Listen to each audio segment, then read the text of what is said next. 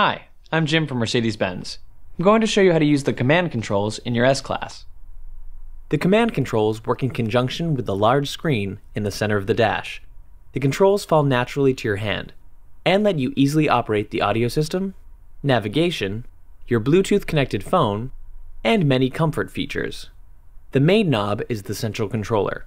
You can rotate it, slide it forward, back, and side to side, and push it down to select a function, like clicking a computer mouse.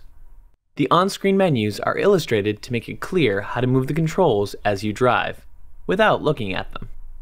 Arranged in a semicircle around the controller, these six silver buttons give you direct access to the functions you'll use most often. Seating features, navigation, radio, including AM, FM, and satellite. As you can see, each time you press the button, it scrolls through the various options. The next button is media, like the DVD player, music register, memory card reader, and any music device you connect via the USB ports, or via wireless Bluetooth audio streaming. Then there's the phone menu, which also includes access to the internet apps of Mercedes-Benz mbrace. And finally, you can adjust the car's comfort and convenience features, like the ambient lighting or locking modes. There's also a back button with an arrow, a main power on button, plus a thumb wheel to adjust the volume.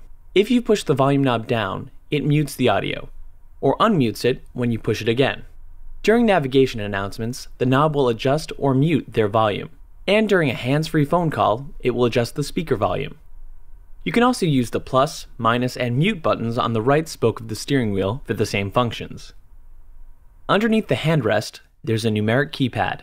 You can use these keys to dial phone numbers, as radio presets, and to program up to 12 of your favorite functions for one touch access. The buttons are touch sensitive, previewing their function on the screen as you lightly touch them, so you know what they do before you press to select. All of these features are described in their own videos. On the screen, the main functions are divided into horizontal menus along the top and bottom of the screen.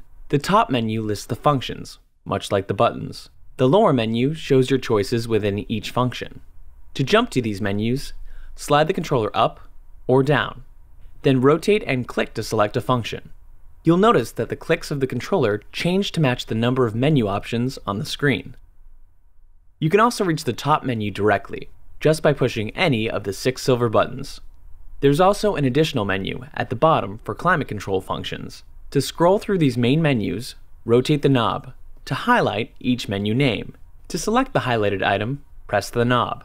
A submenu will appear, usually in a carousel format that matches how you rotate the knob. Select the highlighted item by pressing the knob again. To exit the current menu and return to the previous screen, press the back button. Pressing and holding the back button brings you directly to the main screen for the current mode.